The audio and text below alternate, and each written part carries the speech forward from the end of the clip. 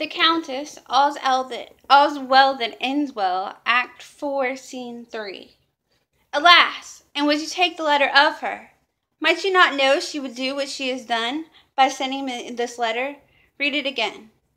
Ah, what sharp stings are in her mildest words! Rinaldo, you never did lack advice so much as letting her pass so.